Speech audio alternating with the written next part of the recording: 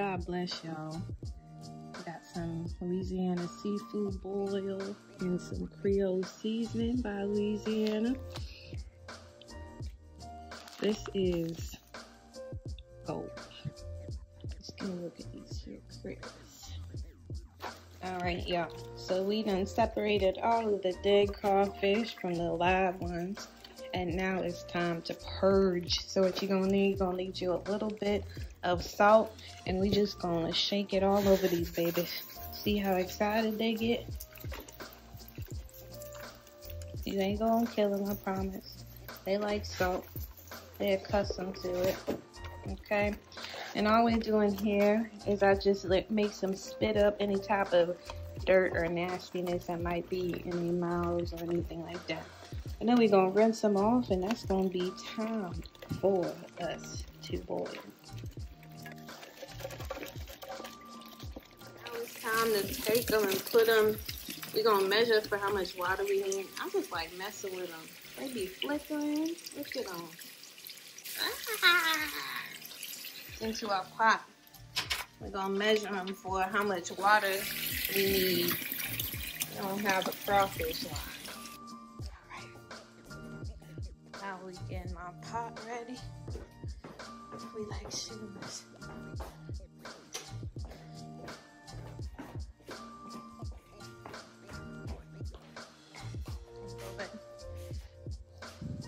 So. All right. So it's a beautiful spring day, but don't be deceived. It's chilly out here. Definitely ain't on no bayou, but I got to buy you some crawfish.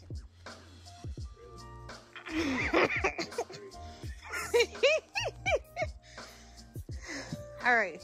So now, like I said, we're just checking our water level. Never really bought um, eight pounds of crawfish before. So we're just gonna make sure we got enough water in our pot.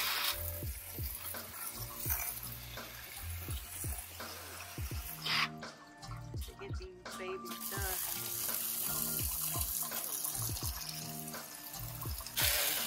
There she be. Look at them critters down there. For your first crawfish boil? All right, now listen. The first and most important step about any good boil, whether it's crawfish, shrimp, crab, etc., is the way that it tastes, y'all. So I have a couple of different seasonings here. This is the Old Bay.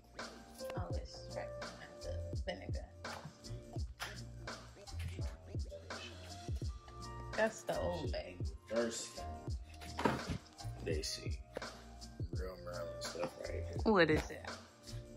Okay. Old Bay. I got some new bays over here. This is the old bays that we had growing up. they trying to bring the new bay in. I think actually 1889. I don't remember when Old Bay was created, but some of these are real old. Zatarain's 1889, so it might be the older bay of the two. So we got our three seasonings here. We got Punch Your Daddy, LA Crawfish, Louisiana Crawfish Company. Um, not really sure where they're from. Not some with an N. And then Old Bay seasonings from right here in Maryland, out of Chesapeake Bay, city of Baltimore. We gonna try all of them. Cause every season, every seafood boil seasoning or Cajun season or anything for seafood always got a little bit different taste.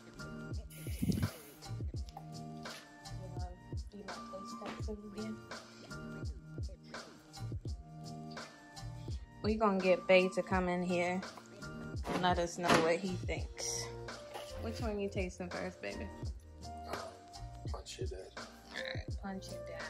He gonna lick his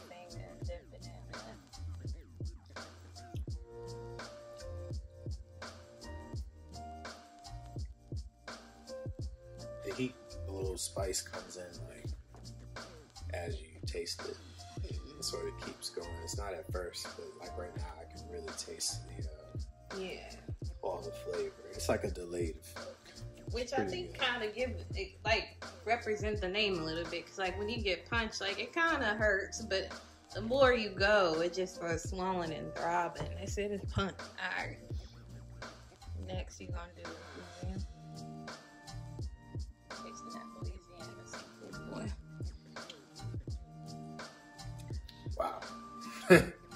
That's got a lot of flavor.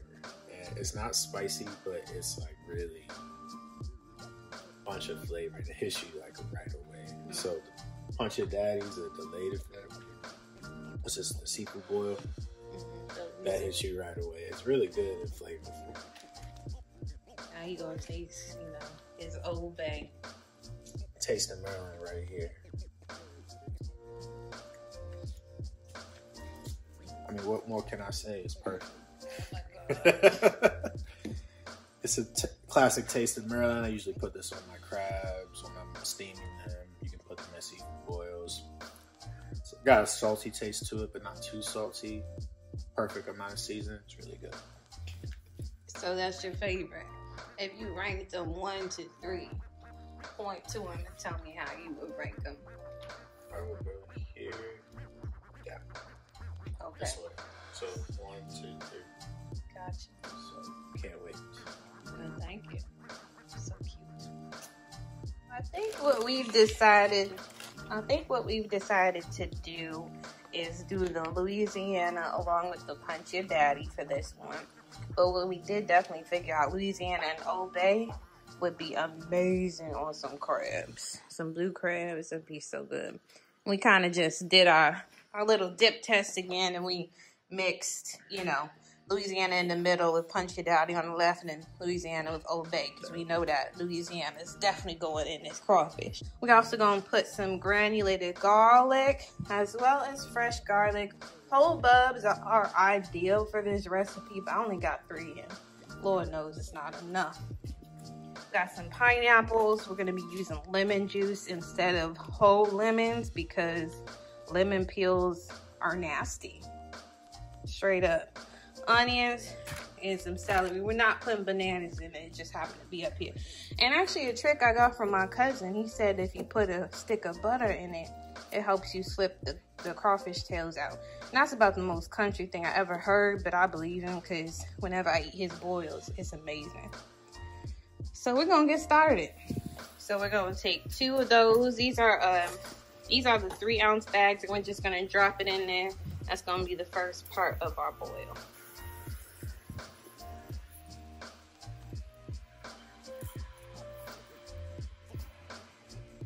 We're just gonna let them soak in there for a little while.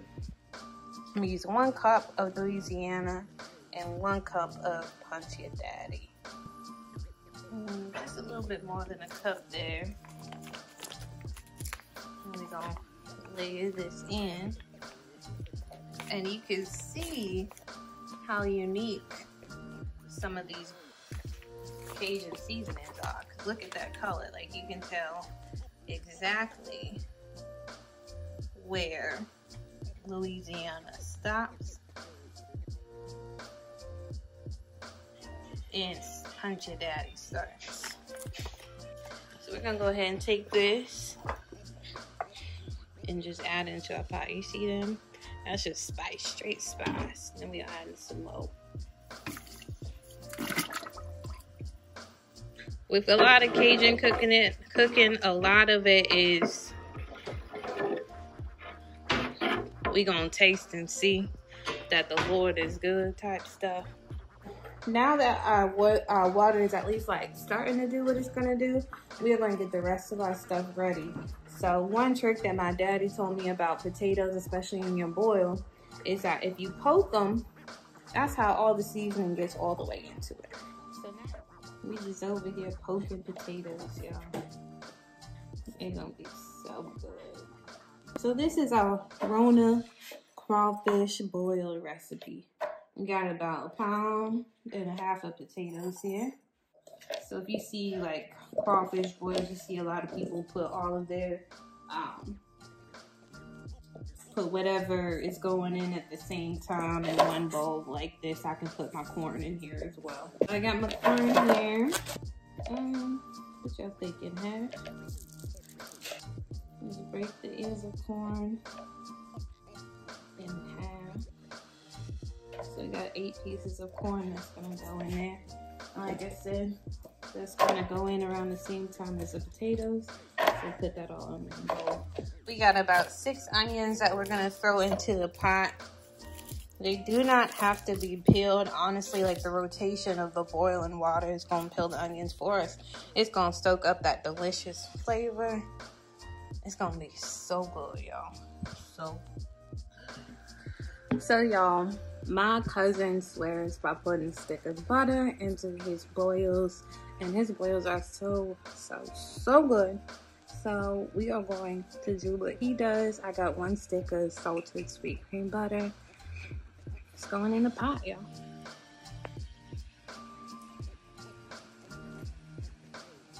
And she disappears. Great, y'all. I also asked my husband if he wanted to taste my water. Don't think he knew what I was talking about. Here is my Cajun boil water. She mighty tasty, y'all. This would be a really good like Cajun chicken noodle soup broth. That sounds good. I should do that.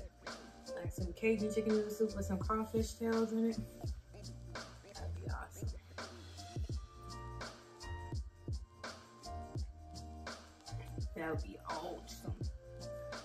Right, y'all. So I'm gonna put the lid on top of my boiled pot we're just gonna let it start to do its like roll and boil type of thing.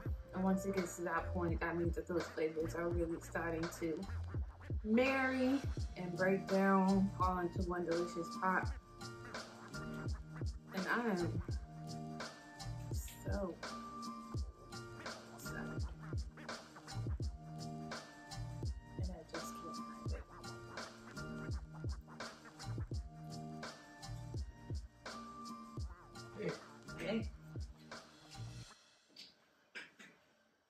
let them taste my water too. We're finally at a point of a rolling boil, y'all. We do need to wait till this part to really start beginning to add any of the food that you're actually intending on eating. Anything that's not your seasoning, like your onions and all that kind of stuff. So here we have our gorgeous man here. He is going to be dumping the corn and potatoes in for us.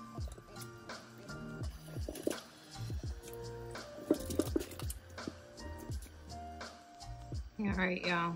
It's time to take the goodies out and get the critters in. All right, babe, gonna put the crawfish in. Yeah, yeah. Yeah, I'll show you.